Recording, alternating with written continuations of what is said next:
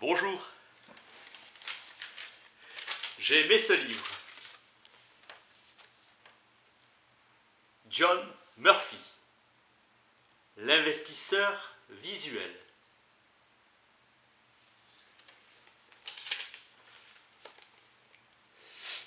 La lecture de ce livre est indispensable à celui qui veut intégrer l'analyse technique dans sa panoplie d'outils de prise de décision.